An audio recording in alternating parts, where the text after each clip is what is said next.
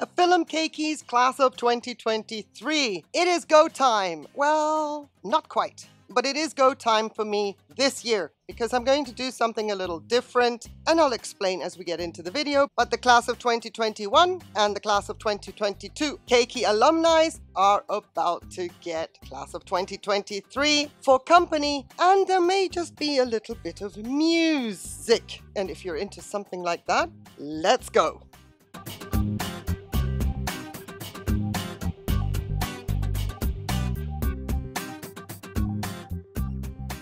Thank you for clicking on this video. It is an exciting day for me and my class of 2023 of Aphyllum Keikis. I appreciate that you're here. And if you have not subscribed to the channel, this is an ongoing project of a monster mount that I'm doing. I have a vision and I hope by 2026 we will be able to see some semblance of what I am dreaming of. Having said all that, first of all, we're going to harvest the keikis. I'm going to be cutting canes. I'm going to be putting cinnamon on all of them. And then I shall explain, as I put them on the monster mount, why I'm going in this early and not waiting just a little bit longer. Please subscribe to the channel. It would help tremendously. And also like the video. These two combinations work a treat. Now, if you want to share the video, that is the perfect hat trick. That is the hat trick that YouTube likes so much. So if you can do that for me, thank you so, so much in advance. It is good to have you here.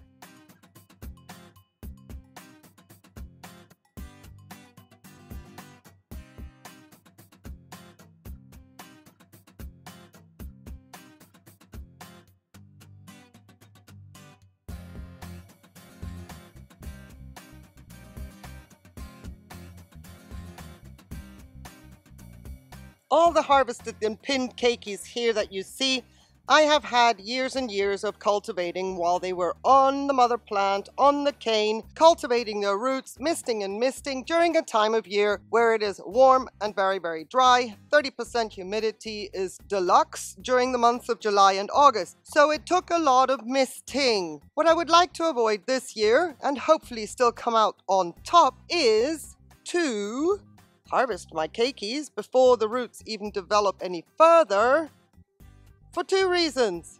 This way, they can already grow into the mount straight away. They haven't gotten long enough. And I don't risk breaking them when I pin them to the mount.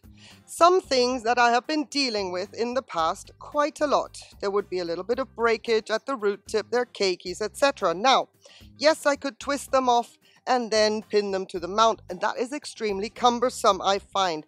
In the past, when my roots were very long, you can see I made little extra paddings and then I pinned that padding onto the mount.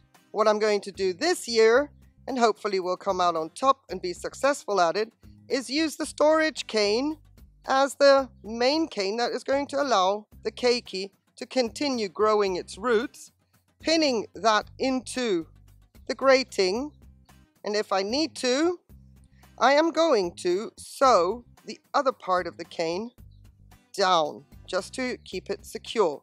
I'm going to do that with all nine that we've just harvested. And then the idea being that the roots grow into the hop filter material straight away. Other new growths on this monster mount, their roots are now going into the hop filter material a little bit late, I would say, because if I had done this last year and the year before, it's possible that the actual roots of the keiki would have already gone into the hop filter. That is what I'm doing different this year, and I hope things are going to turn out well. Now, you might be saying, why am I not putting cinnamon at the end here?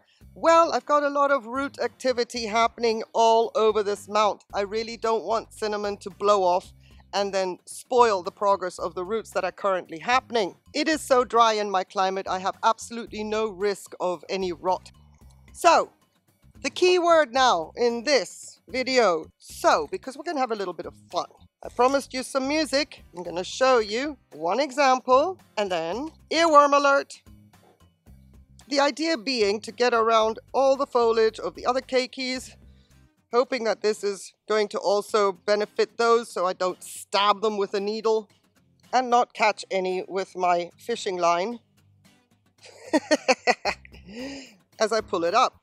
And boy, do these keikis now need a drink.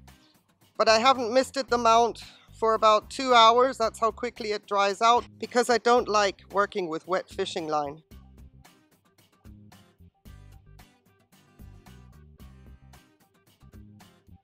It always astounds me how long the cane that I leave on the keiki actually still stays intact. I still have plump canes from yesteryear on the other keikis. So that's one down, eight to go. Doe, a deer, a female deer, ray, a drop of golden sun. Me, a name I call myself, far, a long, long way to run. So a needle pulling thread, la, a song I sing with joy. Tea I drink with jam and bread, that'll bring me back to so, so, so, so, so. Of course, it's that'll bring me back to do, do, do, do, do, a deer, a female deer, ray, a drop of golden sun, me a name I call myself, far, a long, long way to run. So a needle pulling thread, la, I sing a song of joy. Tea I drink with jam and bread, that'll bring me back to do, do, do, do. Anyone? Earworm alert. You're welcome.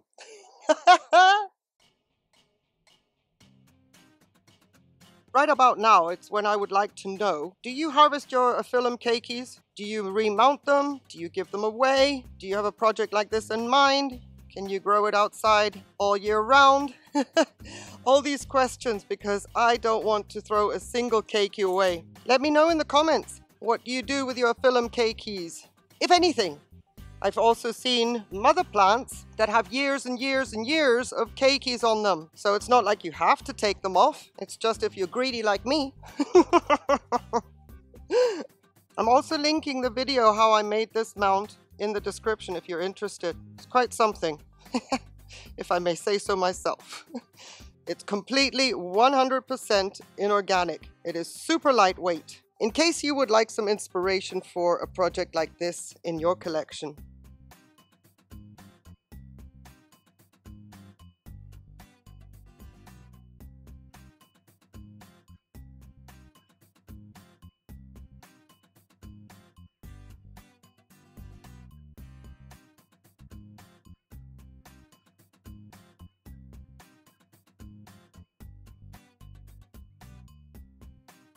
Really? Come on, we're almost done here. Why? I need you to be a little bit down. Don't roll up on me. Okay, well, we're just gonna have to hope for the best. I kind of wanted those itty bitty roots to be closer to the hop filter material, but like these guys, they're sticking out. Oh well, we're not gonna force the keikis. We're gonna be staying on top of the watering.